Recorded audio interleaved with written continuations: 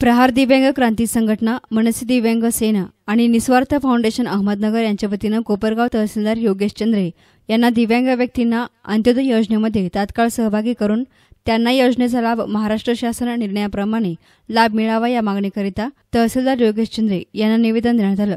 याप्रसंगी तहसीलदार योगेश चंद्रे यांनी ही दिव्यांगांना आश्वासन देत दिव्यांगांना लवकरात लवकर अंत्योदय योजनेचा लाभ देण्यासाठी शासकीय कागदपत्रांची पूर्तता चालू असून लवकरच याचा लाभ दिव्यांगांना मिळणार आहे. कोपरगाव तालुक्यामधील सव्वीस दिव्यांगांचे अंत्योदयसाठीचे प्रकरणे तहसीलदारांना देण्यात आले. याप्रसंगी प्रवीण भुजाडी आणि योगेश गंगवाल यांनी आपल्या प्रतिक्रिया व्यक्त केल्या. कोपरगाव फार अपंग क्रांती आंदोलन. माननीय माननीय बच्चूभाऊ कडू यांच्या नेतृत्वाखाली आम्ही अंत्योदय योजनेच्या दिव्यांगांना लाभ मिळण्यासाठी तहसीलदार साहेबांना निवेदन दिलेलं आहे. तर तहसीलदार साहेब स्वतः म्हणे का आम्ही लवकरात लवकर हे प्रश्न निकाली काढू. तरी आम्हाला सगळ्यांना विनंती कर कोपरगाव तालुक्यातील सर्व अपंगांना अंत्योदय योजनेमध्ये सामील करून घ्यावा. हीच आमची अपंगाची प्रामाणिक इच्छा आहे. आत्ताच आम्ही प्रहार दिव्यांग अपंग संघटना कोपरगाव आणि मनसे दिव्यांग सेना अहमदनगर जिल्हा यांच्या वतीने दिव्यांगांचे कुपनाचा सहभाग अंत्योदय योजनेत करून घ्यावा. यासाठी तहसीलदार साहेबांकडे आलो होतो. सन्मान्य तहसीलदार साहेबांनी आमचा विषय ऐकून त्या विषयाचं गांभीर्य समजून त्यांनी तत्काळ मदत करण्याचे आम्हाला आश्वासन दिले आहे. व आमचे जवळपास चाळीस पन्नास प्रपोजल त्यांनी ठेवून पण घेतले आहे.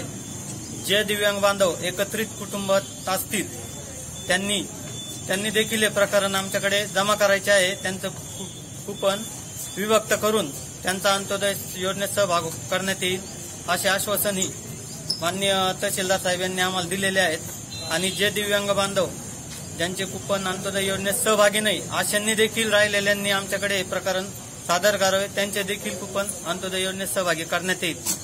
आणि आमच्या दोन्ही संघटनेच्या वतीने आम्ही सन्मान्य तहसीलदार साहेबांचे मनापासून आभार मानतो की आमच्या दिव्यांगांच्या प्रश्नावर त्यांनी योग्य तो मार्ग काढून आम्हाला न्याय दिला.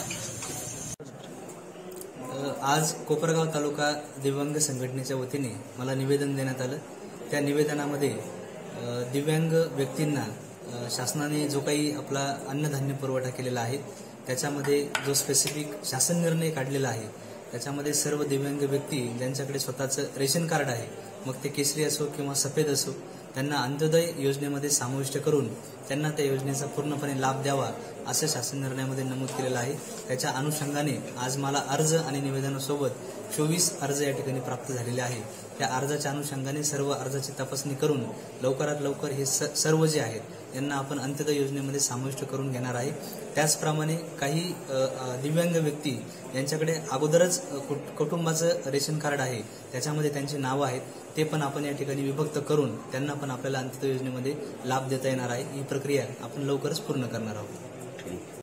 याप्रसंगी प्रहार दिव्यांग क्रांती संघटनेचे परमेश्वर कराळे प्रवीण भुजाडे अनिल वाणी मनोज लकारे अर्चना धुमाळ दिव्यांग सरपंच सतीश कानडे निस्वार्थ फाउंडेशनचे योगेश गंगवाल संजय गीते आदींसह तालुक्यातील दिव्यांग बहुसंख्येनं हजर होते.